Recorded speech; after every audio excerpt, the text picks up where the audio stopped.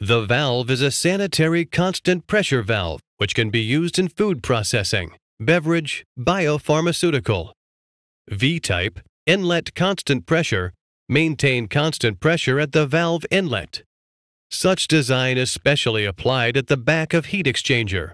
It is used as a safety valve. A-type, outlet constant pressure, maintain constant pressure at the outlet. Such design is used as the front of filling machine and bottle filling machine. Constant pressure valve operated by compressed air, automatically run without sensor on piping system.